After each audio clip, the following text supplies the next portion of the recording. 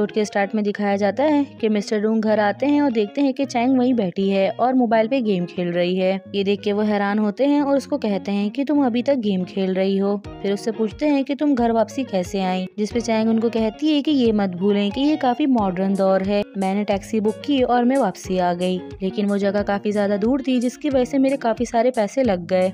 फिर मिस्टर डूंग कहते हैं कि मुझे तुमसे कोई चीज़ पूछनी है और पूछते हैं कि मिस्टर वैंग तुम्हें पसंद करते हैं? चैंग गेम खेल रही होती है उनकी बात पे ध्यान नहीं देती। जिससे मिस्टर डूंग दिल में सोच रहे होते हैं कि इस तरह से प्रिटेंड मत करवाओ। वो तुम्हें माय डियर लेडी कहता है। जिससे मिस्टर डोंग बहाना बनाते हैं, वो कहते हैं कि मैं तुमसे इसलिए पूछ रहा हूँ कि अगर मिस्टर डोंग ने तुम्हें हरिस करने की कोशिश की, अगर वो इस तरह की कोई हरकत करे तो तुम फ़ौरन मुझे बताना। जिसपे चैंग कहती है कि ये कैसे पॉसिबल है? फिर मिस्टर डोंग कहते हैं कि आज शाम को मेरा उनके साथ अपॉइंटमेंट है। अगर तुम चाहो तो मेरे साथ चल सकती हो और उनसे मिल सकती हो। चैंग गेम की वजह से उनको जवाब नहीं देती, जिससे मिस्टर डूंग उसको गुस्सा करते हैं और कहते हैं कि तुम ये क्या कर रही हो? मैं तुमसे बात कर रहा हूँ और तुम मुझे जवाब नहीं दे रही। फिर चैंग उनको कहती है कि ठीक है ठीक है, हम चलेंगे, लेकिन आप मुझे यहाँ से कॉल कर दीजिएगा। मिस्टर डूंग फिर भी उसके हाथ से मोबाइल लेके नीचे रख देते हैं, फिर हमें नेक्स्ट डे का दिखाया जाता है। चैंग मिस्टर वैंग के ऑफ़िस पहुँच जाती है, इतने में मिस्टर डूंग की कॉल आती है और वो कहते हैं, मुझे आने में थोड़ा टाइम लग जाएगा, यहाँ पे ट्रैफ़िक है और तुम अंदर जाओ, लेकिन उससे बच के रहना। फिर चैंग उनको कहती है की आप ये क्या कह रहे हैं? मैंने आपको बताया है ना की वो इस तरह के इंसान नहीं है। फिर हमें दिखाया जाता है की चैंग डोरबेल बजाती है, इतने मिस्टर वैंग आते हैं और पूछते हैं की तुम अकेले आई हो। जिसपे चैंग कहती है की प्रोजेक्ट के बारे में कुछ बात करनी थी। मिस्टर रूम ट्रैफ़िक में फंस गए हैं, वो बस आ ही रहे हैं। ये सुन के मिस्टर वैंग बहुत खुश हो जाते हैं और उसका हाथ पकड़ के उसको अंदर ले लेते हैं और कहते हैं कि चलो मिलके बात करते हैं। और अंदर आने के बाद वो चैंग के साथ बदतमीजी कर रहे होते हैं, जिसकी वजह से चैंग काफ़ी परेशान हो रही होती है और उनको मना करती है।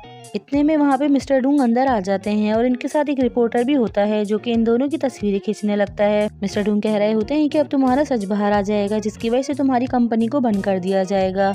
और ऐसा कुछ भी नहीं होता, बल्कि सब कुछ मिस्टर डूंग सोच रहे होते हैं और सोच सोच के काफ़ी ज़्यादा हंस रहे होते हैं। मिस्टर डूंग की ये विश होती है कि वो मिस्टर वैंग की सच्चाई सबके सामने ले आए। लेकिन कहीं ना कहीं वो परेशान हो रहे होते हैं कि मैंने चैंग को भेज के बहुत बुरा किया, मुझे उसे अकेले नहीं भेजना चाहिए। इसके बाद वो दोबारा चैंग को कॉल लगाते हैं और उसको कहते हैं कि तुम परेशान मत होना मैं तुम्हें बचाने के लिए आ रहा हूँ। अपना ख्याल रखना, ये कहने के बाद वो कॉल को काट देते हैं। साथ ही चैंग सोच रही होती है की इनको अचानक से क्या हो गया, ये इस तरह की बातें क्यूँ कर रहे हैं? मिस्टर डूंग जितना ही चैंग के पास पहुँचने की जल्दी कर रहे होते हैं, वो उतना ही प्रॉब्लम में घिर रहे होते हैं। अचानक से गाड़ियाँ रुक जाती हैं, लेकिन मिस्टर डुंग ब्रेक नहीं लगाते, जिसकी वजह से उनकी गाड़ी दूसरी गाड़ी से टकरा जाती है। वो गाड़ी किसी लड़की की होती है, वो अपनी गाड़ी से फ़ौरन उतरती है और मिस्टर डूंग को सुनाने लगती है। मिस्टर डूंग उससे माफ़ी मांगते हैं और उसको पैसे देने की भी ऑफ़र करते हैं, लेकिन वो पैसे लेने से मना कर देती है। और मिस्टर डूंग कहीं भाग न जाए तो वो उनका हाथ पकड़ रही होती है और कहती है की यही रुको, मैं पुलिस को बुलाती हूँ। दूसरी तरफ़ हमें चैंग का दिखाया जाता है, वो मिस्टर वैंग के पास चली जाती है, जिससे मिस्टर वैंग उससे पूछते हैं की तुम अकेले आई हो जिसपे चैंग उनको कहती है की मिस्टर डूंग बस आ ही रहे हैं जिसपे मिस्टर वैंग कहते हैं की चलो अंदर चलते हैं और एक बड़ी फाइट करते हैं। और साथ ही दूसरी तरफ़ हमें मिस्टर डूंग का दिखाया जाता है, वो चैंग की वजह से काफ़ी परेशान होते हैं तो वो खुद ही से भागने लग जाते हैं। वो काफ़ी दूर तक भागते हुए जा रहे होते हैं और मिस्टर वैंग को लेके उनके दिल में काफ़ी ज़्यादा गलत ख्याल आ रहे होते हैं और कह रहे होते हैं कि, चैंग, तुम डरना नहीं, बस मैं तुम्हारे पास जल्दी से आ रहा हूँ। मिस्टर डूंग होटल पहुँच जाते हैं और मिस्टर वैंग के रूम के बाहर होते हैं और उनको अंदर से कुछ अजीब सी आवाज़ें आ रही होती हैं। साथ ही कह रहे होते हैं कि, ये दोनों क्या कर रहे हैं? मुझे कुछ सही से सुनाई नहीं दे रहा। इतने में एक होटल की स्टाफ आ जाती है और उनको इस तरह की हरकत करते हुए देखती है। वो इतने गुस्से से मिस्टर डूंग को देख रही होती है, उसको देख के मिस्टर डूंग भी फ़ौरन सीधे हो जाते हैं और फ़ौरन उनके पास आते हैं और उनको कहते हैं कि मुझे गलत मत समझना, मेरी गर्लफ्रेंड अंदर है और वो किसी और लड़के के साथ है और मुझे चीट कर रही है, इसीलिए मुझे उसको रंगो हाथों पकड़ना है। और उनसे चाबी का कहते हैं, जिस पर वो कहती हैं कि मैं इस तरह से नहीं कर सकती, इससे मैं अपनी जॉब खो दूँगी। फिर मिस्टर डूंग बहुत ही प्यार से उनको कह रहे होते हैं, साथ ही उनसे मिन्नतें करने लगते हैं, जिस पर वो कहती हैं कि तुम बहुत ज़्यादा हैंडसम हो, इसलिए मैं तुम्हें मना नहीं कर रही। लेकिन प्लीज़ तुम किसी को मार मत देना, इसके बाद वो उनको चाबी दे देती हैं। मिस्टर डूंग गेट ऑन करने लगते हैं और उसके बाद वो चैंग को कह रहे होते हैं कि, चैंग, तुम डरना नहीं, मैं तुम्हें बचा लूँगा। फिर मिस्टर डूंग चीखते हुए अंदर आते हैं तो देखते हैं कि ये दोनों वीडियो गेम खेल रहे हैं और उनको इस तरह चीखते हुए अंदर आते हुए ये दोनों भी उनको देखने लगते हैं और काफ़ी हैरान होते हैं। और इन दोनों को भी वीडियो गेम खेलता देख के मिस्टर डूंग भी हंसने लगते हैं और कहते हैं कि, मुझे नहीं पता था कि तुम दोनों गेम खेल रहे हो। फिर मिस्टर वैंग समझ जाते हैं कि मिस्टर डूंग मेरे बारे में क्या सोच रहे थे जिसपे वो उनका कॉलर पकड़ते हैं और उनको कहते हैं, तुम मेरे बारे में इस तरह से कैसे सोच सकते हो? जिससे मिस्टर डूंग कहते हैं कि मुझे एक्सप्लेन करने का मौका दो, जिसपे चैंग फ़ौरन बोल पड़ती है कि आप मेरे बारे में इस तरह से कैसे सोच सकते हैं। फिर मिस्टर वैंग कहते हैं कि मैंने तो तुम्हें अपना भाई समझा और तुम मुझे इस तरह से धोखा दे रहे हो। फिर मिस्टर डूंग माफ़ी मांगते हैं और कहते हैं कि शायद मुझे कोई गलत फहमी हो गई है। फिर मिस्टर वैंग कहते हैं कि लेकिन अब मैं तुम्हारे साथ कोई भी प्रोजेक्ट नहीं कर रहा और ये कहने के बाद वो अंदर जाने लगते हैं और चैंग को कह रहे होते हैं कि चलो मिलकर वीडियो गेम खेलते हैं, जिसपे चैंग भी उनको मुँह बना के अंदर चली जाती है और मिस्टर डुंग बाहर ही खड़े रहते हैं। इसके बाद उनको रियलाइज़ होता है की हर इंसान एक जैसा नहीं होता। फिर हमें नेक्स्ट डे का दिखाया जाता है चैंग जैसी ऑफ़िस में आती है, उसको जारी मिलता है। और कहता है कि तुम्हें पता है कि मिस्टर डोंग तुम्हारी वजह से ट्रेंडिंग नंबर वन बने हैं। उनको पता नहीं तुम में क्या नज़र आता है। वो तुम्हें बचाने के लिए बगैर ट्रैफ़िक को देख के रोड क्रॉस कर रहे थे, जिसकी वजह से वे गाड़ी के सामने आते आते बचे हैं। जिसपे चैंग उनसे पूछती है कि इतनी जल्दी में कहाँ जा रहे हैं। फिर जैरिन को कहता है कि शायद किसी खूबसूरत औरत को डेट करने के लिए जा रहे हैं। ये कहने के फ़ौरन बात ही वो चैंग को झाड़ता है और कहता है की तुम्हें नज़र नहीं आ रहा की वो तुम्हें बचाने के लिए आ रहे हैं। और कहता है की मुझे यकीन नहीं आ रहा की उन्होंने तुम जैसी लड़की को कहाँ से ढूंढा। वो ये कह के यहाँ से चला जाता है और चैंग को भी बुरा लगता है और वो सोचती है कि मैं इतनी बुरी हूँ चैंग मिस्टर वैंग से मिलने के लिए आती है, जिसमें मिस्टर वैंग कहते हैं कि मैंने तुम्हें गेम में बुलाया था, मगर तुम नहीं आई। फिर चैंग उनसे बात करने लगती है और उनको प्रोजेक्ट के लिए मनाती है और कहती है की मिस्टर डोंग बिल्कुल भी ऐसे नहीं है। तो प्लीज़ आप उनसे गुस्सा मत हो और उन्हें माफ़ कर दे। फिर चैंग कहती है की मुझे पता है की वो एक साइकोपात है, लेकिन मैं आपको बता दूँ की ये प्रोजेक्ट बहुत ज़्यादा काम का है। अगर आप ये प्रोजेक्ट करेंगे तो इससे आपको भी काफ़ी फ़ायदा होगा। साथ ही कहती है की मेरे पास एक तरीका है जो मिस्टर डोंग ने हमारे साथ किया है। हम उसका बदला भी उनसे ले सकते हैं। फिर वो मिस्टर वैंग को पूरा प्लान बताती है, जिससे वो भी हंस रहे होते हैं। साथ ही चैंग कहती है की अब तुम डरो मत, मैं आ रही हूँ। और प्लान के बारे में सोचते हुए ये दोनों काफ़ी ज़्यादा खुश हो रहे होते हैं। दूसरी तरफ़ हमें मिस्टर डोंग का दिखाया जाता है। चैंग उन्हें बनी का कॉस्ट्यूम पहना देती है और उनको कहती है की अपने घुटनों पे बैठो और माफ़ी मांगो। जैसा जैसा चैंग कहती है, मिस्टर डोंग बिल्कुल वैसा ही करते हैं। वो घुटनों पे बैठ जाते हैं और माफ़ी मांगने लगते हैं। और साथ ही चैंग काफ़ी खुश हो जाती है और उनकी तस्वीरें क्लिक कर रही होती है।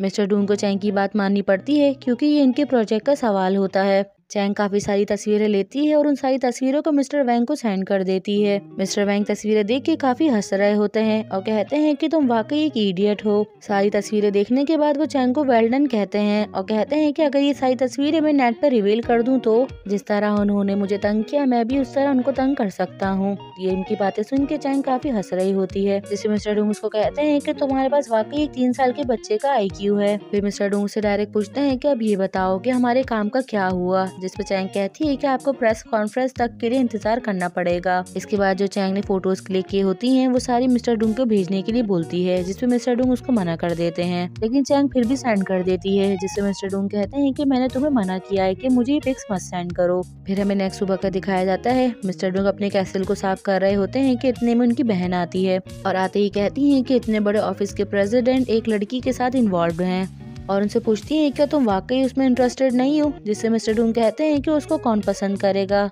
मैं जब बोर हो जाता हूँ तो मैं उसके साथ खेल लेता हूँ। उस लड़की की और तुम्हारी दुनिया बिल्कुल अलग है। तुम्हारी दुनिया सिर्फ़ नैन्सी से मिलती है। तो जितनी जल्दी होगा तुम इस बात को समझ लो और अपने लिए कोई प्रॉब्लम क्रिएट मत करो। और अगर तुम्हें उसकी कोई ज़रूरत नहीं है तो तुम आज से ही उसको कॉल करना बंद कर दो। उनकी सिस्टर कहने के बाद चली जाती है और मिस्टर डूम को काफ़ी गुस्सा आ रहा होता है। मिस्टर डूम की सबसे बड़ी प्रॉब्लम ये होती है की वो अपनी फीलिंग्स को पहचान नहीं पाते की वो आखिर चाहते क्या है। वो चैंग को पसंद करने लगे हैं, लेकिन इस बात को भी वो नहीं मानते। फिर इस ड्रामे में किसी न्यू मेंबर की एंट्री होती है। साथ ही हमें एक बहुत बड़ा स्टेज शो दिखाया जाता है। यहाँ पर इतने सारे लोग होते हैं जितने बीटीएस के कॉन्सर्ट में होते हैं। बट अफसोस, वो कॉन्सर्ट बीटीएस का नहीं होता, बल्कि किसी और आर्टिस्ट का होता है। और हमारे इस ड्रामे के मेंबर का नाम है चूफाई जो कि शायद हमारा सेकेंड लीड भी है, जो कि काफ़ी ज़्यादा हैंडसम है, इतने में उसके असिस्टेंट आती है और उसको एक कार्ड देती है। और कहती है की थोड़ी देर के बाद तुम्हें स्टेज पे बुलाया जाएगा अवार्ड देने के लिए तो तुम बिल्कुल यही लाइन्स बोलना। बिल्कुल ऐसा ही होता है चूफाई को अवार्ड देने के लिए स्टेज पे बुलाया जाता है, और सभी उसकी फैंस बहुत खुश हो रही होते हैं। फिर चूफाई अपने फैंस के लिए वही लाइन्स बोलता है, साथ ही उनको वैलेंटाइन विश करता है। उसके सारे फैंस बहुत ज़्यादा खुश हो जाते हैं, उसके बाद वो जाने लगता है, लेकिन गलती से वो अपने असिस्टेंट और सेक्रेटरी से दूर हो जाता है, जिसकी वजह से सारे फैंस उसको घेर लेते हैं। और दूसरी तरफ़ उसके असिस्टेंट और सेक्रेटरी भी बहुत परेशान हो रहे होते हैं। चूफाई अपने फ़ैन से बचने के लिए भागने लगता है, उसके पास ही एक टैक्सी खड़ी दिखती है तो वो उसमें जाके बैठ जाता है। और ड्राइवर को कहता है की यहाँ से जल्दी चलो, लेकिन उसकी नज़र पड़ती है तो उसमें ऑलरेडी एक लड़की बैठी होती है, और वो लड़की कोई और नहीं, बल्कि हमारी सूचैंग है। उसको देख के वो अपने फेस को छुपा लेता है। और सू चैंग से माफ़ी माँगता है और कहता है कि मुझे नहीं पता था कि इस कार में कोई और बैठा हुआ है। जिस पे चैंग कहती है कि कोई बात नहीं, हम आपको रास्ते में छोड़ देंगे। फिर वो ड्राइवर से चलने का कहती है तो वो लेके जाने लगते हैं। साथ ही फ़ैन चूफाई को जाता देखती है तो वो उसकी कार का पीछा करती है। चैंग उनको देख रही होती है और कहती है की ये लोग इस तरह से क्यूँ भाग रही है?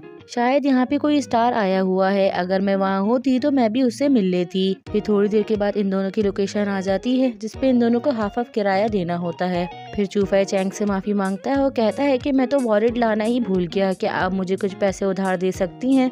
फिर चैंग चूफा से कहती है कि वैसे तो हम दोनों को हाफ़ ऑफ़ किराया देना चाहिए था, लेकिन मैं आपके बदले का भी किराया दे देती हूँ। फिर चूफा उसकी काइंडनेस देख के उसको थैंक यू कहता है जिसपे चैंग कहती है की नहीं, कोई बात नहीं। फिर ये दोनों यहाँ पर उतर जाते हैं। फिर चैंग आगे चल रही होती है और चूफा उसको फॉलो कर रहा होता है जिसपे चैंग उससे पूछती है, क्या तुमने कोई पार्टी वगैरह अटेंड की है जो तुमने इस तरह से कपड़े पहने हुए हैं? लेकिन तुम इस ड्रेस में नोवल लैंड के एक हीरो से मिल रहे हो और काफ़ी हैंडसम लग रहे हो। जिसपे चैंग उसको कहती है कि हाँ बिल्कुल। साथ ही उससे पूछती है, क्या तुम भी चूफाई के फ़ैन हो? क्योंकि चैंग को अभी तक ये बात पता नहीं चली कि वो खुद भी चूफाई से बात कर रही है। फिर चूफाई उससे पूछता है, क्या तुम भी उसकी फ़ैन हो? जिसपे चैंग कहती है कि पता नहीं। मैं हर उस लड़के की फ़ैन हूँ जो कि दिखने में काफ़ी हैंडसम है और ये उसको बता के खुश हो रही होती है। जिसपे चूफे से कहता है, क्या मुझे थोड़ी देर के लिए अपना मोबाइल उधार दे सकती हो? फिर चैंग बगैर कुछ कहे उसको मोबाइल देने लगती है और उसको इंटरनेशनल कॉल करने के लिए मना करती है। फिर चूफा अपने असिस्टेंट को कॉल करता है और उसको लोकेशन बता देता है। फिर वो चैंग को मोबाइल वापसी करता है और उसको थैंक यू कहता है और कहता है कि मेरे साथ थोड़ी देर वेट कर लो। मेरी असिस्टेंट अभी आ रही हूँ तो उनसे लेके मैं आपको टैक्सी का किराया भी दे दूँगा। फिर थोड़ी देर बाद चोफे की नज़र पीछे पड़ती है, वहाँ पे क्रॉन्स बॉयल हो रहे होते हैं। इसकी खुशबू से चूफाई को भूख लगने लगती है और उसके पेट से आवाज़ आती है। इसके बाद चैंग भी पीछे देखती है और चूफाई से पूछती है, क्या तुम्हें भूख लग रही है? जिसपे चूफाई कहता है की, मैंने सुबह से कुछ नहीं खाया, इस वजह से हो सकता है। चैंग चूफाई की वजह से कहती है कि, मुझे भी भूख लग रही है, चलो मिलके खाते हैं। जिसपे चूफाई उसे लेने से मना कर रहा होता है। तो चैंग कहती है की, ले लो, ये एक एपिटाइजर है। इससे तुम्हारा पेट तो नहीं भरेगा, लेकिन थोड़ी भूख तुम्हारी कंट्रोल हो सकती है। फिर चैंग अपने साथ चूफाई को भी स्ट्रीट पे बिठा लेती है और काफ़ी मज़े लेकर स्वीट को खा रही होती है। और खाते हुए ये कह रही होती है कि इसकी स्मेल कितनी ज़्यादा अच्छी है और ये कितने ज़्यादा सॉफ्ट है। चूफा इसको खाते हुए देखता है। चूफा इसको मज़े से खाते हुए देख रहा होता है तो खुद भी वन बाइट लेकर ट्राई करता है। उससे भी वो काफ़ी मज़े के लगते हैं। फिर चूफा चैन को बताता है कि ये मैंने फ़र्स्ट टाइम खाए हैं। इससे पहले मैंने ये कभी ट्राई नहीं किए, ये काफ़ी मज़े के हैं। इतने में चैंग की नज़र चूफाई के फेस पे पड़ती है तो कहती है कि ऐसा लग रहा है कि मैंने पहले कभी तुम्हें देखा है, तुम किसी से बहुत ज़्यादा मिल रहे हो। ये सुनते ही चौफे अपना फेस छुपा लेता है, इसके बाद चैंग खड़ी हो जाती है और उसको झाक झाक के देखने लगती है। इसकी वजह से चूफाई भी खड़ा हो जाता है और अपने फेस को छुपा रहा होता है। फिर चैंग कहती है की मैंने तुम्हें वाकई पहले कभी देखा है, क्या तुम टीवी पे आते हो? जिसपे चूफा इसको कोई जवाब नहीं देता, फिर वो सोचने लगती है तो उसको याद आ जाता है और ज़ोर से चिल्ला के कहती है, क्या तुम वाकई चूफाए हो? चैंग को इतनी ज़ोर से बोलता देख के सारी गर्ल्स रुक जाती हैं और उनको देखने लगती हैं। जिसपे चैंग कहती है कि नहीं, मुझे कोई गलत फहमी हुई है, ऐसा नहीं है। चैंग और चॉकलेट एक रेस्टोरेंट में मिलती हैं। चॉकलेट काफ़ी ज़्यादा खुश होती है और चैंग को कहती है कि अब तो तुम काफ़ी फ़ेमस होने वाली हो और कहती है कि मुझे यकीन नहीं आ रहा कि तुम और चूफे एक साथ एक एड में। और कहती है कि तुम्हें पता नहीं है कि तुम दोनों एक साथ कितने ज़्यादा आउटस्टैंडिंग लग रहे थे। चॉकलेट इतनी ज़्यादा खुश हो जाती है और कहती है कि मुझे अपने आप को काउंट डाउन करना चाहिए। चैंग उठ के वॉशरूम जाती है। इतने में पीछे से मिस्टर ये आ जाते हैं। और मिस्टर ये को कहती है कि आपको यहाँ पे बुलाने की एक खास वजह है। अगर वो लड़की सूचंग नहीं होती तो मैं बिल्कुल भी आपके साथ इस तरह से नहीं करती, क्योंकि वो मेरी बेस्ट फ्रेंड है।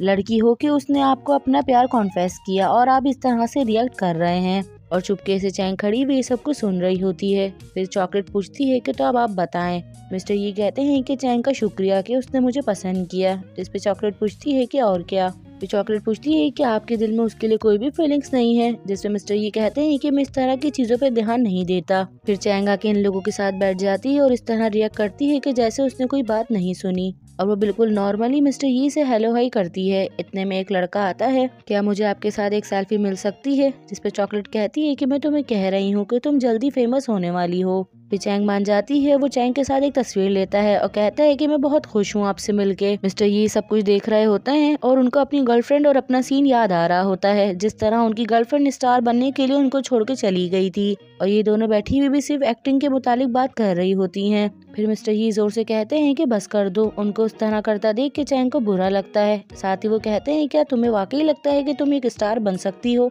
सिर्फ़ एक कमर्शियल ऐड करने की वजह से। इस पे चैंग मिस्टर ही को सुनाने के बजाय उनको कह कहती है कि नहीं, हम तो सिर्फ़ मज़ाक कर रहे हैं। जिसमें मिस्टर ये कहते हैं कि मुझे नहीं लगता कि इसमें कुछ भी फनी है। फिर मिस्टर ये कहते हैं कि मैं सिर्फ़ तुम्हें इतना ही कहूँगा कि तुम्हें अपने स्टार बनने के ख्वाब को छोड़ देना चाहिए। और कहते हैं कि मुझे लगा था कि तुम सबसे अलग हो, मगर ऐसा कुछ भी नहीं है। तुम वाकई उन जैसे लोगों की तरह हो, जिसमें चॉकलेट अपने भाई को टोक रही होती है और कहती है कि आप बस कर दें, आप ये क्या कह रहे हैं? तुम्हारे अंदर ना ही कोई सेल्फ रिस्पेक्ट है और ना ही सेल्फ एटीट्यूड और कहते हैं कि मुझे नहीं लगता कि मुझे तुम्हें और आगे कुछ बताने की ज़रूरत है। ये कहने के बाद वो खड़े होते हैं। मिस्टर, ये इतना ज़्यादा रूड हो जाता है कि चैंग रोने लग जाती है। चॉकलेट अपने भाई को गुस्से में रोकती है। इतने में चैंग कहती है कि आपको जाने की ज़रूरत नहीं है। वो मैं हूँ जिसे चले जाना चाहिए। चैंग रो रही होती है और भागती हुई बाहर आ जाती है, लेकिन फिर वो रुकती है। और वो अपने भाई को सुना रही होती है कि आप इस तरह से कैसे कर सकते हैं? आपको लड़कियों से बात करने की बिल्कुल भी तमीज नहीं है। पिचैंग वापसी आ जाती है, उसको देख के चॉकलेट खुश होती है। पिचैंग मिस्टर ये को सुनाती है कि आप मेरे बारे में इस तरह से कैसे कह सकते हैं? मैं मानती हूँ कि मैं आपको पसंद करती हूँ। और अगर पसंद करती भी हूँ तो क्या? मैंने आपको कभी भी ये नहीं बोला कि आप मुझे पसंद करें। मैं आपके बारे में सोचती हूँ जब मैं काम कर रही होती हूँ, लेकिन मैंने आपको कभी भी नहीं बोला, क्योंकि मैं नहीं चाहती कि मेरी वजह से आपके काम पे कोई इफ़ेक्ट पड़े। सोते हुए, जागते हुए यहाँ तक कि शॉपिंग पे हर जगह मैं आपके बारे में सोचती हूँ और वो सिर्फ़ इसलिए क्योंकि मैं आपको पसंद करती हूँ। उसकी बातें सुन के चॉकलेट भी काफ़ी ज़्यादा हैरान हो रही होती है। यहाँ तक कि मिस्टर ही को भी थोड़ा एहसास होता है कि उन्होंने गलत बोला। और जहाँ तक की बात रही मेरी सेल्फ रिस्पेक्ट और मेरी डिग्निटी की तो हाँ मैं मानती हूँ की मेरे पास नहीं है। आपको पसंद करना वो मेरा बिज़नेस है। इससे आपका कोई भी लेना देना नहीं है।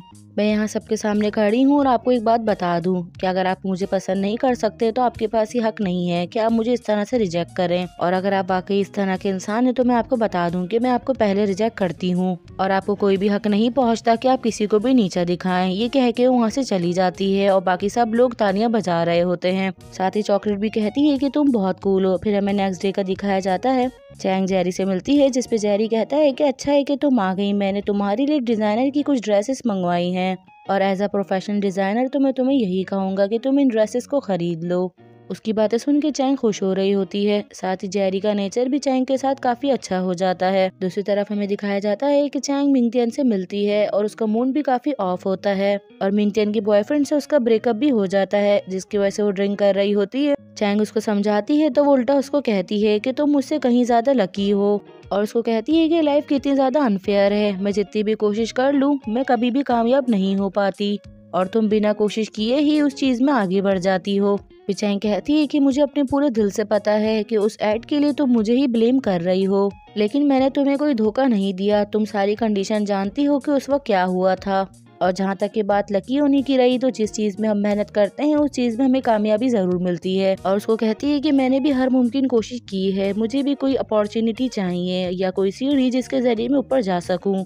और तुम इस बात को भुला नहीं सकती कि तुम मुझसे कहीं ज़्यादा लकी हो। तुम्हें तो ऊपर जाने के लिए सीढ़ी की भी ज़रूरत नहीं है। तुम लिफ्ट का इस्तेमाल करती हो। उस लिफ्ट का एक बटन दबाने से तुम ऊपर पहुँच जाती हो और उसका दरवाज़ा सीधा मिस्टर डूम के ऑफ़िस में खुलता है। तो अब बताओ कि हम दोनों में से कौन ज़्यादा लकी हुआ? पिचैंग उसको कहती है कि तुम इस तरह से मत कहो, मैं अपनी भी मेहनत करती हूँ, उसमें उनका कोई भी हाथ नहीं है। मिंगचैन मानने के लिए तैयार नहीं होती जिसपे चैंग कहती है कि तुम्हें मुझ पर भरोसा करना चाहिए। मैं ऐसी दोस्त नहीं हूँ कि किसी दोस्त को नीचा दिखाऊँ। लेकिन मिंगचैन उसकी बात नहीं मानती, उल्टा उसको सुना कर वहाँ से चली जाती है। उसकी बातों से चैंग काफ़ी ज़्यादा सैड होती है और रोने लगती है। फिर हमें नेक्स्ट डे क्लासरूम का सीन दिखाया जाता है। मैनेजर आते हैं और सभी गर्ल्स को बताते हैं कि एक छोटी सी पार्टी अरेंज की जा रही है। और उस छोटी सी पार्टी में सभी बड़े बड़े लोग आएँगे। अगर आप लोग चाहो तो मेरे साथ चल सकते हो और उनसे अपना ताल्लुक़ बढ़ा सकते हो। जिस पे चैंग मैनेजर से पूछती है कि मैनेजर उस पार्टी में जाना ज़रूरी है, जिसपे मैनेजर उसको कहते हैं कि हाँ बहुत ज़रूरी है, जिसपे चैंग मना कर देती है और कहती है कि लेकिन मैं इस पार्टी में जाना नहीं चाहती, मेरी तबीयत ठीक नहीं है। फिर मैनेजर चैंग को साइड में लेकर आते हैं और उसको कहते हैं कि मैं किसी को भी पार्टी में जाने से फोर्स नहीं कर रहा, लेकिन मैं तुम्हें कह रहा हूँ कि तुम्हें जाना चाहिए। ये तुम्हारे लिए और तुम्हारे फ्यूचर के लिए बहुत अच्छा होगा। मिंगटेन खड़ी भी उनकी बातें सुन रही होती है। फिर चैंग मिंगटेन को देखती है तो उसके पास चली जाती है और उससे पूछती है, क्या तुम अभी भी मुझसे नाराज़ हो? जिसपे मिंगटेन उसको कहती है कि, नहीं, वो मैं थी जो कि तुमसे बहुत ज़्यादा रूट हो गई थी। फिर मिंगटेन पूछती है कि, मैनेजर ने तुमसे क्या कहा? जिसपे चैंग उसको सब बता देती है तो मिंगटेन पूछती है, क्या तुम पार्टी में जाओगी? जिसपे चैंग मना करती है तो मिंगटेन कहती है की, फिर मैं भी नहीं जाऊँगी। हम दोनों मिलके एंजॉय करते हैं। ये दोनों कुछ प्लान्स बनाते हैं। फिर हमें रात का सीन दिखाया जाता है। चैंग को जिस लोकेशन पे आना होता है, वो वहाँ आ जाती है। फिर वो मिंगटेन को कॉल करती है लेकिन मिंगटेन कॉल नहीं उठाती। उल्टा मिंगटेन उसको मैसेज करके कहती है कि मैं तुम्हारे साथ नहीं जा सकती। दूसरी तरफ़ हमें मैनेजर का दिखाया जाता है, वो पार्टी में जा रहे होते हैं। इतने में मिंगतियन उनके पास आती है। फिर मैनेजर उससे पूछते हैं कि चैंग का क्या जिसपे मिंगटन कहती है कि वो पार्टी में नहीं जाएगी। जैसे ही एड वाले दिन उसने मेरे साथ किया था, आज मैंने उसके साथ वैसे ही किया। मैनेजर हँसते हैं और उसको कहते हैं कि तुम बहुत ज़्यादा तेज हो, तुम्हें अपनी दोस्त के साथ इस तरह नहीं करना चाहिए। जिसपे मिंगटन कहती है की मैं इस बारे में इतना नहीं सोचती। फिर लोग कार में बैठ जाते हैं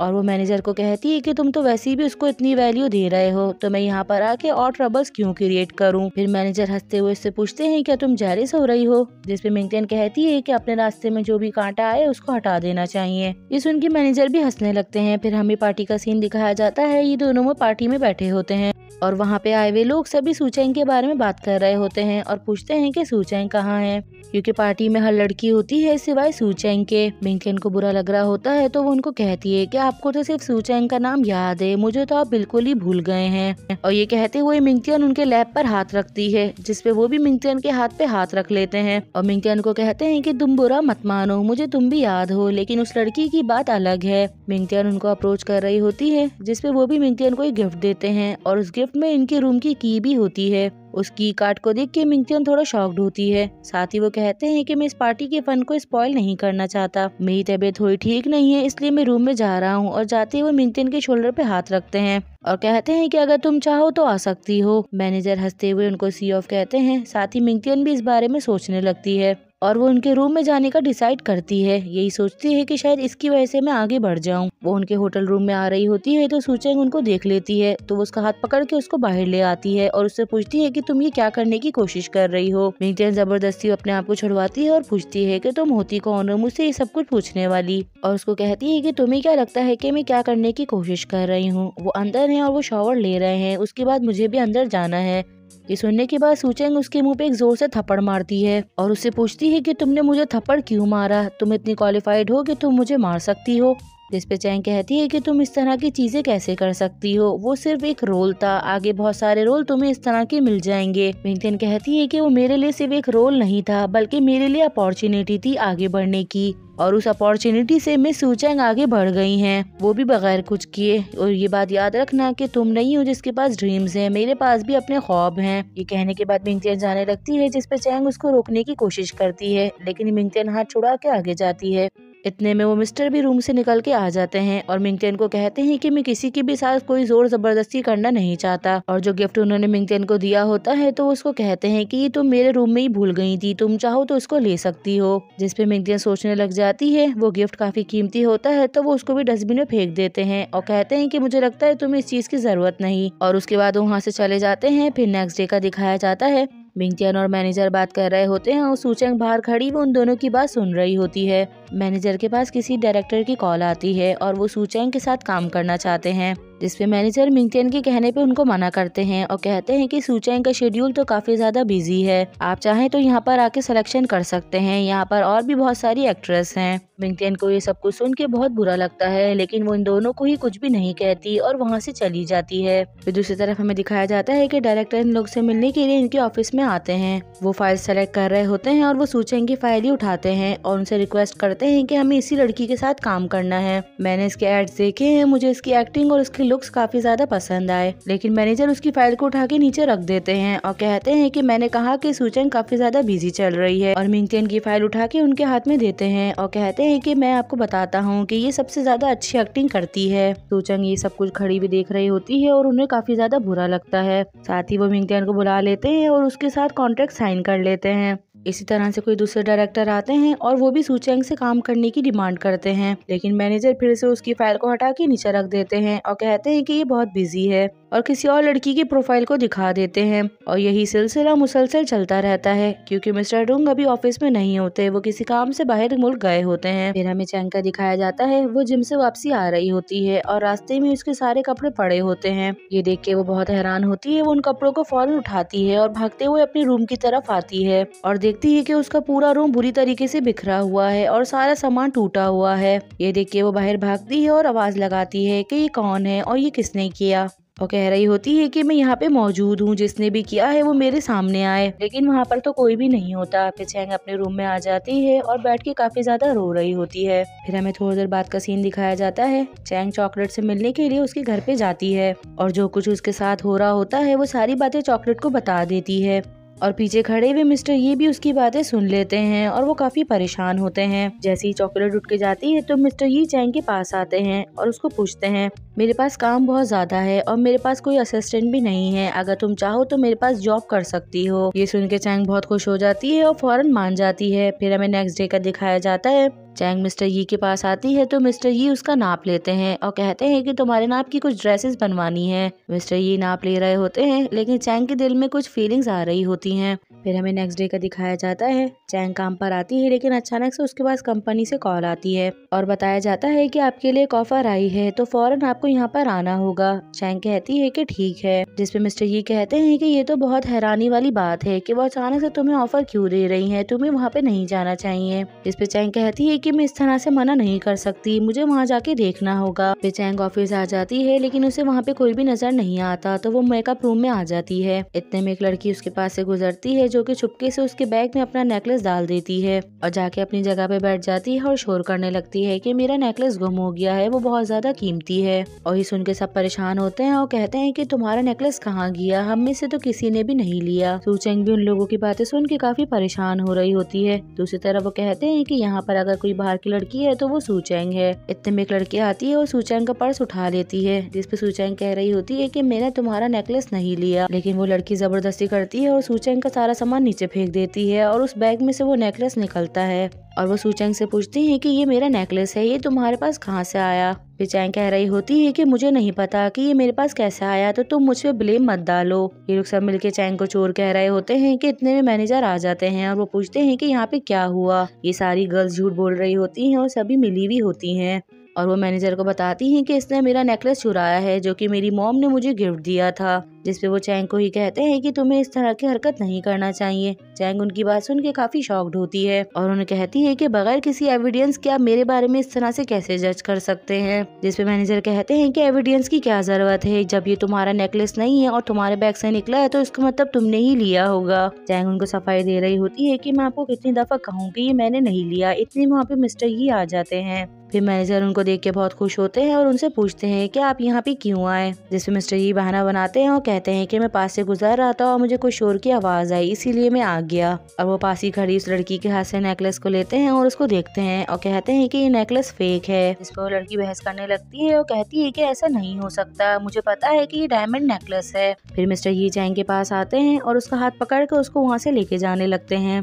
मिस्टर डूंग के हाथ पकड़ते ही चैंग काफ़ी हैरान होती है और पास ही खड़ी लड़कियाँ भी शॉक्ड होती हैं। मिस्टर डूंग उसका हाथ पकड़ते हैं और उसको वहाँ से ले जाते हैं और चैंग भी बगैर कुछ बोले उनके साथ चली जाती। है चैंग उससे पूछती है, क्या तुम वाकई चूफाए हो? जिसपे चूफाई हाँ करता है तो वो बहुत खुश हो जाती है और उसको कहती है, क्या मैं तुम्हारा ऑटोग्राफ ले सकती हूँ? फिर चैंग अपना बैग चेक करती है तो उसमें पेन नहीं होता। फिर ये दोनों मिलकर कुछ सेल्फीज लेते हैं।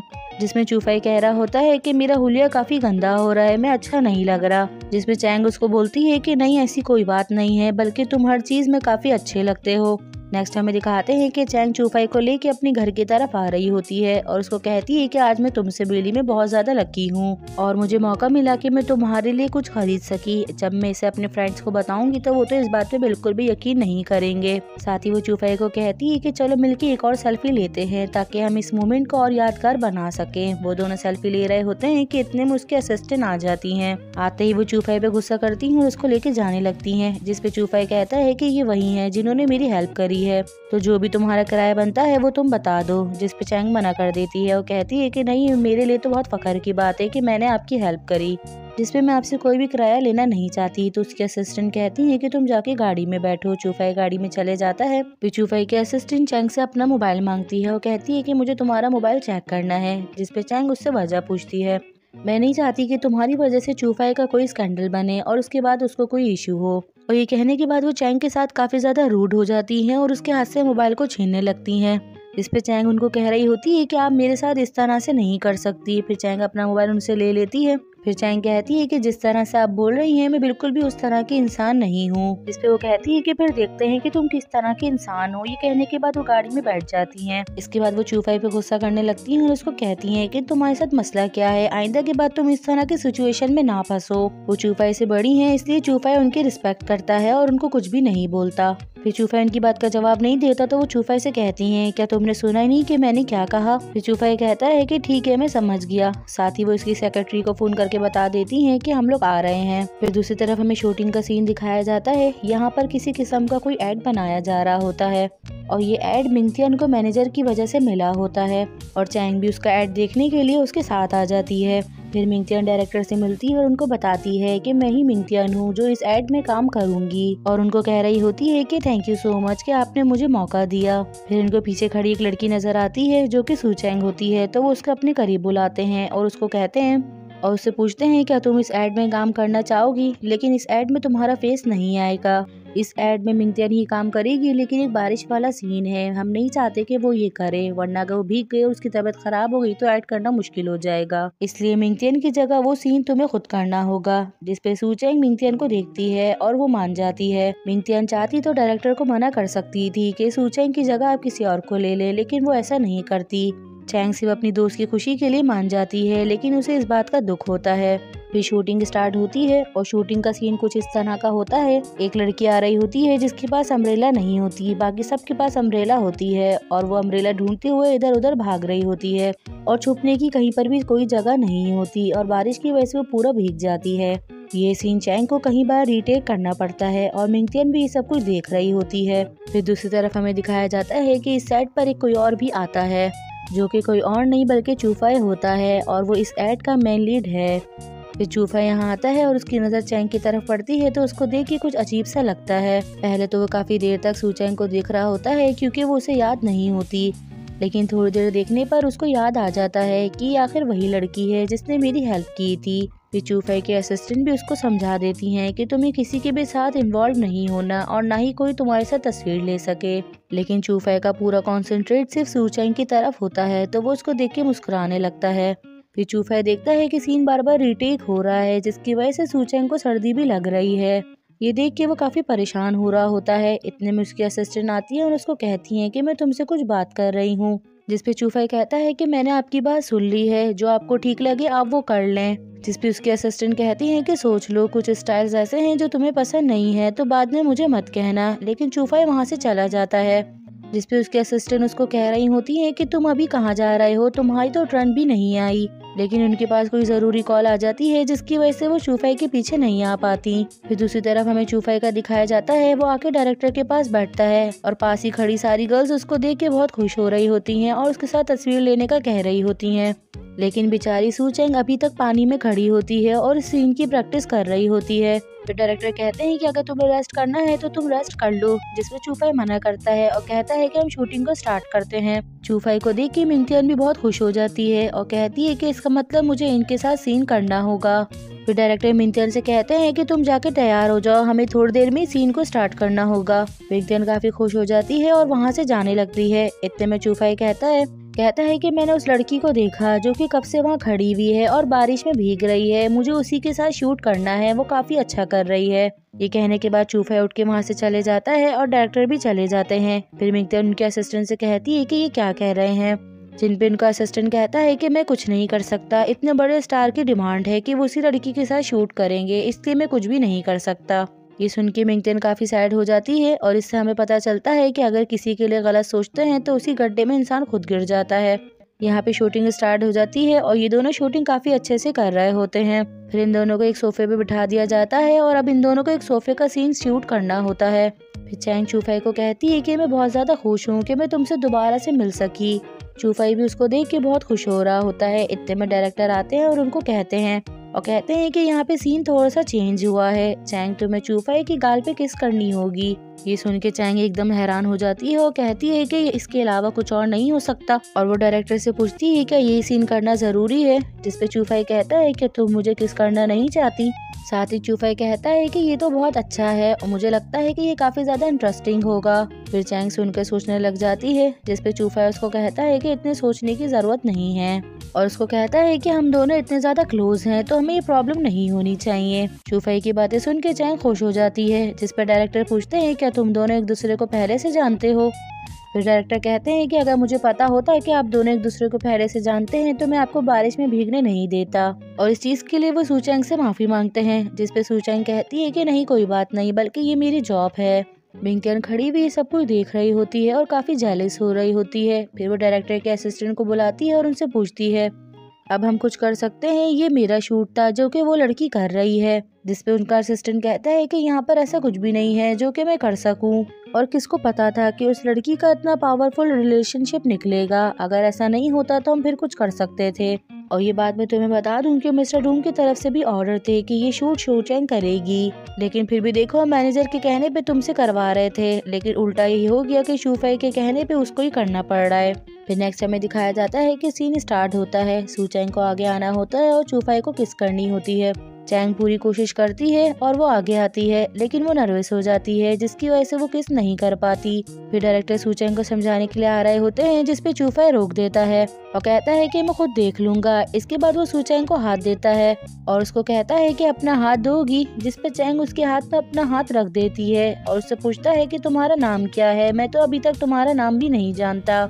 जिसपे सुचैंग अपना नाम बता देती है और उस पर सुन के वो खुश होता है और उसको समझाने लगता है। पास ही खड़ी काफ़ी गर्ल्स उनको देख रही होती हैं और वो सुचैंग को लेके काफ़ी गलत बातें कर रही होती हैं और कहती हैं कि ये कितनी ज़्यादा लकी है। पहले तो उसने मिस्टर डून को फंसाया, फिर उन्होंने उसको अपनी असिस्टेंट बना लिया। इसके बाद चूफाई पे भी उसने अपना जादू चला दिया जिसपे एक लड़की कहती है कि वो वो बहुत ज़्यादा चार्मिंग है, उसकी ब्यूटी देखो, जिससे हर लड़का पागल हो जाता है। ये सारी बातें मिंगटेन सुन रही होती है और उसको काफ़ी बुरा लग रहा होता है, क्योंकि वो सभी मिंगटेन को जलाने के लिए ही कह रही होती हैं। दूसरी तरफ़ हमें चैंग का दिखाया जाता है, वो चूफाई की बात को समझ जाती है और उसको थैंक यू कहती है। फिर शूटिंग स्टार्ट होती है तो चैंग उसकी गाल पे किस करती है। और जैसे ही किस करके पीछे हट रही होती है, दूसरी तरफ़ से उसके असिस्टेंट कॉल पे बात करती हुई आ जाती हैं और ये सीन देख के वो हैरान हो जाती हैं। और फ़ौरन ही इस सीन को रुकवा देती हैं और डायरेक्टर से कहती हैं कि ये सब कुछ क्या हो रहा है? और वो डायरेक्टर से कहती है कि स्क्रिप्ट में तो ये सब कुछ नहीं था तो ये सब कुछ क्या हो रहा है? जिसपे डायरेक्टर उनको समझाते हैं कि मुझे लगता है कि इससे ऐड और ज़्यादा अच्छा हो सकता है। इतने में वहाँ पे चूफाई आ जाता है और वो कहता है कि मुझे इन सबसे कोई भी प्रॉब्लम नहीं है। फिर वो चूफाई को आँखें दिखाती हैं और उसको बोलती हैं कि चूफाई तुम इस बारे में कुछ भी नहीं जानते।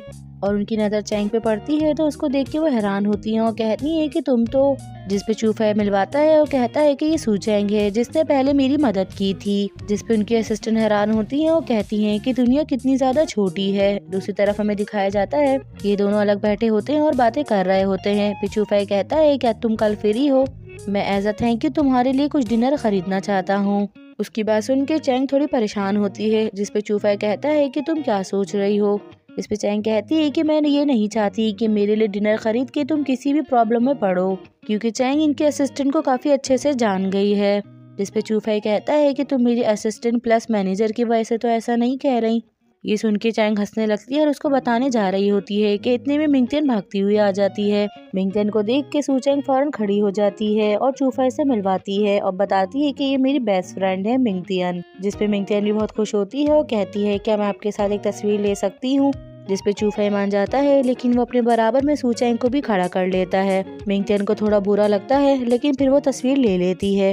इस सीन से हमें पता चलता है कि चूफाई को चैंग पे काफ़ी ज़्यादा ट्रस्ट है। इनकी मैनेजर डायरेक्टर के साथ बैठी होती हैं और वो चूफे को देख रही होती हैं। अचानक से नज़र पड़ने की वजह से वो परेशान होती हैं।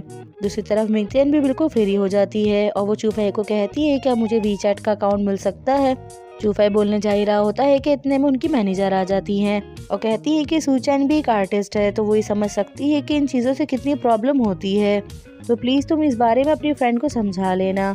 साथ ही वो चूफाई को कहती है कि चलो, हमें दूसरे शूट पे जाना है। चूफाई जा रहा होता है और सूचैंग को बाय बाय कहता है, लेकिन उसका जाने का बिल्कुल भी दिल नहीं कर रहा होता। उसकी मैनेजर भी उसको झूठ बोल के यहाँ से लेके जा रही होती है। फिर दूसरी तरफ़ हमें दिखाया जाता है इस एड के बारे में जितना सोचा होता है, ये एड उससे कहीं ज़्यादा पॉपुलर हो जाता है। साथ ही हर कोई इस एड के बारे में बात कर रहा होता है और उन्हें चैंग की एक्टिंग भी काफ़ी पसंद आती है। और हर जगह पे चैंग और चूफाई के बारे में ही न्यूज़ चल रही होती है। यही मिस्टर लुंग एब्रॉड से वापसी आ जाते हैं। मिस्टर डून को रिसीव करने के लिए उनकी सिस्टर जाती हैं। मिस्टर डून ने अपने लिए ऑरेंजेस मंगवाए होते हैं, जिन पे उनकी सिस्टर कहती हैं कि तुम्हें तो ड्रैगन फ्रूट पसंद है, तुमने कब से ऑरेंजेस खाना शुरू कर दिए? फिर मिस्टर डून कहते हैं कि ऑरेंजेस से तो मिटोविन सी बनता है तो हमें ये खाना चाहिए। और मैं वैसे भी अपना मूड चेंज करने के लिए ये खा रहा हूँ। फिर जिस पे इनकी सिस्टर कहती हैं कि भले कुछ भी हो, लेकिन दाल में कुछ काला है, तुम इतनी आसानी से अपनी पसंद को चेंज नहीं कर सकते। दूसरी तरफ़ हमें मिस्टर यी का दिखाया जाता है, वो घर आते हैं चैंग वहीं पर ही होती है तो वो उससे कहते हैं कि हमें कोई शॉपिंग पे चलना चाहिए। मेरे पास ग्रोसरी का कोई भी सामान नहीं है तो तुम मेरे साथ चलोगी तो थोड़ा सा हेल्प हो जाएगी। दूसरी तरफ़ हमें दिखाया जाता है कि मिस्टर डून भी शॉपिंग मॉल आते हैं। वो एमी से बात कर रहे होते हैं और उसको बता रहे होते हैं कि मेरे ऑफ़िस में कोई भी खाने पीने की चीज़ नहीं है, यहाँ तक कि फ्रिज में पानी की बोतल भी नहीं है। और उसको कहते हैं कि मैं प्यास से मर जाऊँगा, अभी रखता हूँ, बाद में बात करूँगा। दूसरी तरफ़ चैंगो, मिस्टर, ये भी इसी स्टोर में आए होते हैं। यहाँ पर कुछ फ्री फूड्स चेक करवा रहे होते हैं जिसपे चैंग मिस्टर ई को कहती है कि चले, हम दोनों भी ट्राई करते हैं। सामने ही मिस्टर डूंग खड़े होते हैं और अपने लिए ड्रिंक सेलेक्ट कर रहे होते हैं, लेकिन उनको चैंग की आवाज़ आती है तो फ़ौरन उस तरफ़ देखते हैं। और देख के वो काफ़ी हैरान होते हैं। चैंग मिस्टर यी के साथ होती है और उन्हें अपने हाथों से खिला रही होती है जिसमें मिस्टर यी उसको कह रहे होते हैं कि मैं खुद अपने हाथ से खा लूँगा, लेकिन चैंग फिर भी उनको खिला रही होती है। ये देख के मिस्टर डूंग काफ़ी जेलिस हो रहे होते हैं। फिर ये दोनों आगे जाते हैं तो मिस्टर डूंग भी भागते हुए इनके पीछे जाते हैं। चैंग को जो भी समझ आ रहा होता है, वो मिस्टर यी के लिए सामान ले रही होती है। दूसरी तरफ़ मिस्टर डूंग चैंग के पास आने के बजाय वो ये कोशिश कर रहे होते हैं कि ये खुद से मुझे देख ले। और वो भी कुछ सामान को उठाने लगते हैं, लेकिन चैंग अपनी शॉपिंग में इतनी मगन होती है कि वो बिल्कुल भी मिस्टर डून की तरफ़ ध्यान नहीं देती। फिर मिस्टर ये कहते हैं कि मैं वॉशरूम से फ्रेश होके आता हूँ तुम्हें जो भी सामान लेना है तुम वो सामान ले लो। ये कहने के बाद वो वॉशरूम चले जाते हैं और दूसरी तरफ़ चैंग भी अपना सामान लेने के लिए चली जाती है। दूसरी तरफ़ मिस्टर डूंग भी भागते हुए आते हैं और वो चैंग को इतना खुश देखते हैं तो उसके पास जाने की बजाय मिस्टर ये के पास जाते हैं। मिस्टर ये हैंड वॉश कर रहे होते हैं तो मिस्टर डूंग भी उनके बराबर में आके खड़े हो जाते हैं। और उनको कहते हैं कि, ये चंग तुम यहाँ, मैंने नहीं सोचा था कि मैं तुमसे यहाँ पर मिलूँगा। जिसपे मिस्टर यी चैन भी उनको हेलो कहते हैं। तो मिस्टर डूंग कहते हैं कि तुम यहाँ पे अकेले आए हो, जिसपे मिस्टर यी कहते हैं कि नहीं। फिर मिस्टर डूंग कहते हैं तो फिर फैमिली के साथ आए हो, जिसपे मिस्टर यी मना करते हैं। फिर मिस्टर डूंग कहते हैं कि फिर ज़रूर किसी न किसी फ्रेंड के साथ तो आए होगे। मिस्टर डूंग की बातों से ऐसा लग रहा होता है कि वो मिस्टर यी और चैंग का रिलेशन जानना चाहते हैं, जिसपे मिस्टर यी कहते हैं कि ऐसा लग रहा है कि मिस्टर डूंग मेरी पर्सनल लाइफ में कुछ ज़्यादा ही इंटरेस्टेड हैं। फिर मिस्टर रूम कहते हैं कि नहीं, ऐसी बात नहीं है। मैं तो बस पूछ रहा हूँ, आप यहाँ पे आए हैं तो ज़रूर अपनी गर्लफ्रेंड के साथ आए होंगे। और मुझे ऐसा लगता है कि वो हमारी कंपनी की कोई आर्टिस्ट है, जिसमें मिस्टर ये कहते हैं कि तुम तो हमारे बारे में बहुत कुछ जानते हो। फिर मिस्टर डूंग पूछते हैं क्या तुम दोनों वाकई डेट कर रहे हो? जिसपे मिस्टर ये कहते हैं कि रिसेंटली सूचेंग के पास अभी कोई भी काम नहीं है और वो मेरी असिस्टेंट बनी है मेरी हेल्प करने के लिए। जिसपे मिस्टर डूंग कहते हैं कि ऐसा नहीं हो सकता कि उसके पास कोई काम ना हो। वो तुम्हारे साथ टाइम स्पेंड करने के लिए ऐसा कह रही होगी। ये सुन के मिस्टर ये कहते हैं कि यहाँ पे कुछ बातें ऐसी हैं जो कि आपकी वापसी आनी भी मुझे आपसे करनी थी। उसके पास वाकई कोई काम नहीं है और वो मेरे पास असिस्टेंट बिला वजह नहीं बनी। आपकी कंपनी ने जो उसके साथ कॉन्ट्रैक्ट किया था, वो आपके मैनेजर ने तोड़ दिया है और आपके ऑफ़िस में हर कोई उसको बुली करता है। और जो भी उसके बदले का काम होता है, वो आपके ऑफ़िस में किसी और को दिलवा दिया जाता है। जिसमें मिस्टर रूंग कहते हैं कि ऐसा नहीं हो सकता। ऐसा लग रहा है कि आप सूचेंग के रिलेटेड इश्यूज़ में कुछ ज़्यादा ही इंटरेस्ट ले रहे हैं। इसीलिए एज अ बॉस मुझे आपसे ये पूछना पड़ेगा कि आप दोनों का आखिर रिलेशन क्या है? फिर मिस्टर ये कहते हैं कि आपको कुछ ज़्यादा ही उसकी परवाह है, जिसमें मिस्टर डूंग कहते हैं कि ऐसा नहीं है। मैं उसका बॉस हूँ, मुझे इन सब चीज़ों की फ़िक्र करनी पड़ेगी। फिर मिस्टर ये मुस्कुराते हैं और कहते हैं कि अगर तुम्हें उसकी कोई परवाह नहीं तो ठीक है, मैं उसका लेटर तुम्हें जमा करवा दूँगा। ये सुन के मिस्टर डूंग शॉक्ड होते हैं और मिस्टर ये अपने हाथों को सुखा रहे होते हैं। मिस्टर डूंग इतने गुस्से में आ जाते हैं कि उनको मारने जा रहे होते हैं, लेकिन मिस्टर ये उनको देख लेते हैं, जिसपे मिस्टर डूंग ऐसे शो करते हैं कि वो अपने शूज़ के लेसेस बाँध रहे हैं। फिर मिस्टर ये हाथ सुखा के जाने लगते हैं तो मिस्टर डूंग फिर से उनको मारने की कोशिश करते हैं, लेकिन फिर से मिस्टर ये देख लेते हैं। फिर मिस्टर यी थोड़ी देर तक उनकी तरफ़ देखते हैं और फिर वहाँ से चले जाते हैं। उनके जाने के बाद मिस्टर डूंग को काफ़ी ज़्यादा गुस्सा आ रहा होता है। फिर वो अपने गुस्से पे कंट्रोल करते हैं और वहाँ से बाहर आते हैं। वॉशरूम से बाहर निकलते हुए मिस्टर डोंग आगे होते हैं और मिस्टर ये पीछे होते हैं और चैंग छुपी होती है। चैंग के हाथ में एक पानी वाली पिस्टल होती है और मिस्टर डोंग उसको देख लेते हैं तो वो फ़ौरन नीचे हो जाते हैं और चैंग जैसी निशाना लगाती है तो वो सारा का सारा पानी मिस्टर डोंग के कपड़ों पे आ जाता है। मिस्टर डोंग तो ऑलरेडी गुस्से में होते हैं, फिर वो चैंग से पूछते हैं कि तुम ये क्या कर रही हो? और चैंग भी मिस्टर डोंग को देख के बहुत हैरान होती है और उनसे पूछती है कि आप यहाँ पे क्या कर रहे हैं? फिर मिस्टर डोंग कहते हैं कि ये तो मुझे तुमसे पूछना चाहिए कि तुम यहाँ पे क्या कर रही हो, जिसपे चैंग कहती है कि मेरे पास कोई भी काम नहीं था। मैनेजर मेरे लिए कोई भी काम अरेंज नहीं करते, जिसपे मिस्टर डून कहते हैं कि मैं अभी तुम्हें ऑर्डर देता हूँ, फ़ौरन तुम ऑफ़िस जाओ। मैं खुद तुम्हारे लिए कोई काम अरेंज करता हूँ, जिसे मिस्टर ये कहते हैं कि जो तुम काम अरेंज करोगे वो सिर्फ़ एक असिस्टेंट का होगा। और वो ये काम तो यहाँ पर भी कर रही है, ये सुन के मिस्टर डून को बुरा लगता है, जिसे मिस्टर डून कहते हैं कि मुझे नहीं परवाह के भले कुछ भी हो, तुम मेरे साथ अभी कंपनी वापसी चल रही हो। जिसे मिस्टर ये कहते हैं कि सूचेंग जाएगी या नहीं जाएगी, उसका फैसला तुम नहीं कर सकते। सूचेंग इन दोनों के बीच फंस जाती है और उसको समझ नहीं आता कि वो किसको सेलेक्ट करे। दूसरी तरफ़ मिस्टर डूंग भी उसको गुस्से से देख रहे होते हैं। थोड़ी देर सोचने के बाद सूचेंग को एक आइडिया आता है और वो ज़ोर से चिल्लाने लगती है और कहती है कि तुम मिस्टर डूंग हो ना? चैंग काफ़ी ज़ोर ज़ोर से मिस्टर डूंग का नाम लेने लगती है। ये सुनकर काफ़ी सारी लड़कियाँ उनके पास आके खड़ी हो जाती हैं। दूसरी तरफ़ चैंग मिस्टर ये का हाथ पकड़ती है, उन्हें लेके जाने लगती है और जाते हुए मिस्टर डूंग को मुँह भी चढ़ाती है। मिस्टर डूंग बेचारे सिचुएशन में फंस जाते हैं और गर्ल्स उनको टच कर रही होती है, जिसकी वजह से उनकी तबीयत भी थोड़ी खराब होती है और वो सबको कहते हैं की अभी रुक जाए, मैं अभी अवेलेबल नहीं हूँ। फिर मिस्टर उन कंपनी में आ जाते हैं और मैनेजर को बुलाते हैं जिसे मैनेजर उनको कहता है कि आपको जिसने बताया बिल्कुल गलत बताया है।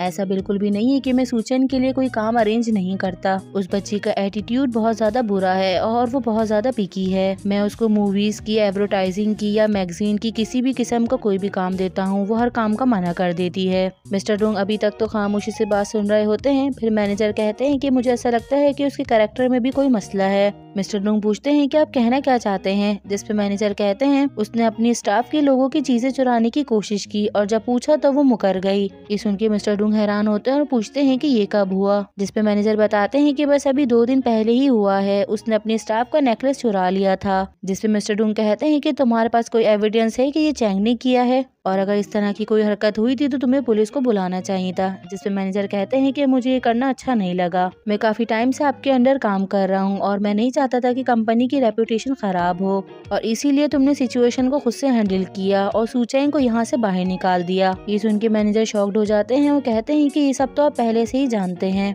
फिर मिस्टर डून कहते हैं कि तुम मेरे साथ काफ़ी टाइम से काम कर रहे हो और तुम ये बात जानते हो कि मैं चीज़ों को किस तरह से संभालता हूँ। मैं तुम्हें एक महीने का टाइम देता हूँ। अगर एक महीने में सिचुएशन सॉल्व नहीं होती, तुम्हारी जॉब के तीन मेन एडवांटेजेस को मैं खत्म कर दूँगा। और तुम ये बात बहुत अच्छे से जानते हो कि इस एज में वो तुम्हें कोई भी नहीं देगा। जिसपे मैनेजर कहते हैं कि आप गुस्सा मत करें, मैं भी सारे मामला को ठीक कर देता हूँ। मिस्टर डून कहते हैं कि अपनी एनर्जी को बचाओ, और ये बिल्कुल भी मत सोचना कि कोई तुम्हारा वहाँ पे इंतज़ार कर रहा होगा। तुमने जिस तरह काम करना चाहा, मैंने तुम्हें कभी भी नहीं बोला, लेकिन ये बिल्कुल भी मत सोचना कि जो तुम करते हो, मुझे उस बारे में कुछ नहीं पता। अगर तुम मेरे साथ जॉब करना चाहते हो तो बिल्कुल लॉयल्टी के साथ, वरना तुम समझ रहे हो कि मेरा आगे क्या मकसद है। मैनेजर के चेहरे से पता चल रहा होता है कि मिस्टर डूंग उनसे कहना क्या चाह रहे हैं।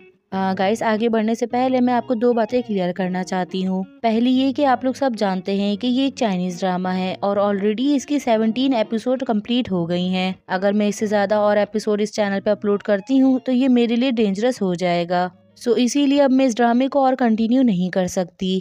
उसके लिए आई एम वेरी सॉरी ये ड्रामा बहुत अच्छा था. मैं खुद भी आपके लिए ड्रामे को कंप्लीट करना चाहती थी. और सेकंड बात ये है कि अगर आप में से कोई ये ड्रामा देखना चाहता है तो मुझे कमेंट ज़रूर कीजिएगा. फिर मैं इस ड्रामे को अपने सेकंड चैनल पे कंटिन्यू करूँगी. सेकंड चैनल के लिए आपको परेशान होने की ज़रूरत नहीं. उसकी लिंक आपको डिस्क्रिप्शन बॉक्स में मिल जाएगी. अगर आप लोग सब इस बात से एग्री है तो मुझे कॉमेंट करके ज़रूर बताइएगा, ताकि मैं पार्ट एटीन आप लोगों के लिए बना सकूँ और सेकेंड चैनल पे अपलोड कर दूँ. फिर हम वीडियो को कंटिन्यू करते हैं. दूसरी तरफ़ हमें सूचैंग का दिखाया जाता है, वो डांस क्लास आती है। सूचैंग के आते ही सब उसको तंग करने लगती हैं और कहती हैं कि देखो सूचैंग आ रही है, सब अपना सामान छुपा लो। सूचैंग किसी की भी बात का कोई जवाब नहीं देती तो वो सूचैंग का रास्ता रोक लेती है।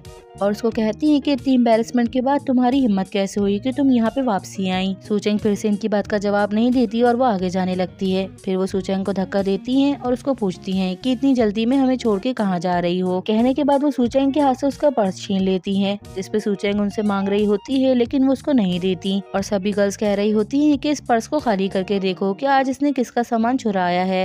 ये कहने के बाद वो चैंग का पूरा पर्स खाली कर देती हैं, लेकिन उसमें कुछ भी नहीं होता, सिर्फ़ चैंग के चंद रुपीस होते हैं। पर्स देखने के बाद वो उल्टा चैंग का मज़ाक उड़ा रही होती हैं और कहती हैं कि इसका पर्स देखो, इसमें तो कुछ भी नहीं है, ये बिल्कुल ही खाली है। वो सब मिलकर चैंग को इतना एम्बेरस कर रही होती है की वो रोने लग जाती है। जिसमें से दूसरी कहती है कि ऐसा लग रहा है कि नेक्स्ट टाइम ये मिस्टर रूंग को चुराएगी। या तो फिर ही चैंग को। ये कहने के बाद वो सुचैंग को एक दूसरे को धक्का देने लगती हैं। सूचेंग बहुत रो रही होती है और उनको मना कर रही होती है। फिर वो सूचेंग को नीचे गिरा देती हैं और कहती हैं कि इस टाइम मैंने तुम्हें एक लेसन सिखा दिया है, जो कि लास्ट टाइम कंप्लीट नहीं हुआ था। ये कहने के बाद वो वहाँ से चली जाती हैं। सूचेंग उनको कोई भी जवाब नहीं देती, वो बैठी हुई बस रो रही होती है। सूचेंग काफ़ी देर तक रोती है और अपने सामान को समेटती है। इतने में मिस्टर ढूंग आ जाते हैं और आने के बाद उसको कहते हैं कि तुम रो रही हो और पूछते हैं कि तुम चाहती हो कि मैं तुम्हारे लिए उन लोगों को यहाँ से बाहर निकाल दूँ जिसपे सूचेंग कहती है कि आप आपके स्टाफ का इसी तरह से मेरे साथ बिहेवियर है और आप बॉस हैं और आपको इस चीज़ की रिस्पॉन्सिबिलिटी लेनी चाहिए। फिर मिस्टर डूंग कहते हैं कि ऐसा लग रहा है कि तुम मुझसे मिन्नतें कर रही हो और ये भी देख लो कि यहाँ पे जो इंसान खड़ा है वो ये चैंग नहीं है, जिसके साथ तुम शॉपिंग मॉल में मुझे छोड़ के भाग गई थी। और ये टाइम तुम्हारे लिए एक लेसन है, मैं तुम्हारे साथ खड़ा नहीं होऊँगा। मिस्टर डूंग की बातें सुन के चैंग को बहुत बुरा लगता है तो वो उनको देख रही होती है। फिर चैंग अपना सामान उठाती है और वहाँ से जाने लगती है जिसपे मिस्टर डूंग उसको कहते हैं, तुम अब सब कुछ क्या गिव अप कर रही हो या मुझसे अब मिन्नतें करोगी जिसपे चैंग कोई जवाब नहीं देती और आगे जाने लगती है। तो मिस्टर डोंग उसको उकसाने के लिए कहते हैं कि मैं तुम्हें यही कहूँगा। जितनी जल्दी हो सके तुम अपने ड्रीम से गिव अप कर दो, ये सुन के चैंग रुक जाती है। और कहती है कि, मिस्टर डोंग, मेरी बात आप ध्यान से सुने। मैं आप जैसे लोगों को बहुत अच्छे से जानती हूँ, जो सिर्फ़ जीतने पे फोकस रखते हैं। अच्छी बात है, लेकिन मैं ये भी बात जानती हूँ कि अगर सक्सेस आसानी से मिल जाए तो वो बहुत ही बोरिंग होती है। मेरे लिए एक्टर बनना बहुत ज़्यादा मुश्किल है, लेकिन मैं आपसे शर्त लगाती हूँ। अब मैं सिर्फ़ एक्टर बनने में अपनी एफर्ट से नहीं लगाऊँगी, बल्कि अपनी जान लगा दूँगी और आखिर एंड तक मेहनत करूँगी। चैंग काफ़ी रो रही होती है और वहाँ से चली जाती है और मिस्टर डूंग खड़े हुए मुस्कुरा रहे होते हैं और कहते हैं कि मैं यही तो चाहता हूँ कि तुम ये बैट जीत जाओ। मिस्टर डूंग ये सब कुछ बोल के चैंग की हेल्प कर रहे होते हैं ताकि वो खुद से अपने पैरों पे खड़ी हो। दूसरी तरफ़ हमें शॉपिंग मॉल का सीन दिखाया जाता है। मिस्टर डूंग फ़ोन पे बात करते हुए शॉपिंग मॉल आते हैं। वो दोनों लड़कियाँ भी वहाँ होती है जिन्होंने चैंग को तंग किया होता है। वो मिस्टर डूंग को देख के उन्हें फ़ौरन रोक लेती हैं। और वो मिस्टर डूंग की तारीफ़ कर रही होती हैं और कहती हैं कि बहुत टाइम के बाद मैंने आपको देखा है। मिस्टर डूंग उनको कहते हैं कि मेरे पास कोई फालतू टाइम नहीं है तो मेरा टाइम वेस्ट मत करो। ये कह के वो आगे चले जाते हैं। ये गर्ल्स पास नहीं आती और कहती है की हमें चल के मिस्टर डूंग को देखना चाहिए, क्यूँकी बाद में हमें ये मौका नहीं मिलेगा। वो जो भी कपड़े खरीद रही होती है, मिस्टर डूंग उनके हाथ से कपड़ों को ले लेते हैं और कहते हैं की इन कपड़ों को पैक कर दो, जिसपे व्हाइट ड्रेस वाली कहती है की ये कपड़े आप मेरी फ्रेंड के लिए खरीद रहे हैं। जिसमें मिस्टर डूंग कहते हैं कि मैंने तुमसे कहा कि ये कपड़े मैं तुम्हारे लिए खरीद रहा हूँ, बल्कि ये कपड़े मैं अपनी बहन के लिए खरीद रहा हूँ। ये सुन के वो लड़कियाँ एम्बेरस होती हैं और अपनी ड्रेसेस सेलेक्ट करने लगती हैं। मिस्टर डूंग उनके हाथ से वो ड्रेस भी ले लेते हैं और कहते हैं कि इनको पैक कर दो। और कहते हैं कि इनफैक्ट यहाँ पे जितनी भी ड्रेसेस हैं, वो सारी ड्रेसेस को पैक कर दो। मैं यहाँ पे जितनी भी चीज़ें हैं, वो सब कुछ खरीद रहा हूँ। ये सुनने के बाद वो कहती हैं कि, आप दोनों यहाँ से चली जाएँ, ये सब कुछ खरीद चुका है। उन दोनों को ही ये चीज़ बहुत बुरी लगती है जिसपे वो दोनों मिस्टर डूंग को बाय कह के वहाँ से चली जाती हैं। मिस्टर डूंग ये सब कुछ चैंग के लिए कर रहे होते हैं, क्योंकि ये वो बात जान जाते हैं कि इन्हीं की वजह से चैंग हर्ट हुई है। फिर मिस्टर डूंग अपनी बहन को कॉल करते हैं और उनसे मिलने के लिए कहते हैं। फिर नेक्स्ट हमें दिखाते हैं की मिस्टर डूंग अपनी बहन से मिलने के लिए जाते हैं और अपनी बहन से बहुत ही स्वीट बातें कर रहे होते हैं जिसपे उनकी बहन कहती है की मुझे पता है की तुम किस बारे में बात करने के लिए आए हो और अब मैं इन आर्टिस्ट को और नहीं समझ सकती, मैं थक चुकी हूँ। तुम्हारे मैनेजर ने मुझे ऑलरेडी एक आर्टिस्ट का बोला है और वो चाहता है कि वो उस फ़िल्म में काम करे। उनकी बात सुन के मिस्टर डोंग हैरान होते हैं और पूछते हैं कि किस आर्टिस्ट के बारे में बात की है, जिसपे उनकी बहन बताती है कि उस लड़की का नाम मिंगतियन है। तुम्हारा मैनेजर बता रहा था कि वो बहुत अच्छी है और बहुत अच्छी एक्टिंग भी करती है और मैंने प्लान किया है कि पहले उसका अपॉइंटमेंट लूँगी, उसके बाद मैं उसको ड्रामे के लिए हायर कर लूँगी। ये सुन के मिस्टर डूंग सैड हो जाते हैं, जिसपे इनकी बहन पूछती है की तुम्हें क्या हुआ, जिसपे मिस्टर डूंग कहते हैं की मैं इस बारे में कुछ भी कहना नहीं चाहता। आप एक्ट्रेस सेलेक्ट करने में क्वीन है। मेरे पास भी एक एक्ट्रेस है जो कि बहुत अच्छी है और मैं चाहूँगा कि आप दोनों की एबिलिटी देख के फिर सेलेक्ट करें। बात बहुत ज़्यादा सीरियस हो जाती है तो मिस्टर डूंग एक छोटा सा मज़ाक करते हैं और अपनी बहन को हंसाते हैं और सूचेंग की प्रोफ़ाइल उनको देते हैं और वहाँ से चले जाते हैं। उनकी सिस्टर वैसे तो समझ चुकी होती है की वो लड़की सूचेंग है, लेकिन प्रोफ़ाइल देखने के बाद उनको यकीन हो जाता है की आखिर जिस लड़की की वो बात कर रहे हैं वो लड़की सूचेंग ही है। और इस चीज़ से वो ये आइडिया लगाती है की उनका भाई सूचेंग को लेके कितना ज़्यादा सीरियस है। यहीं पर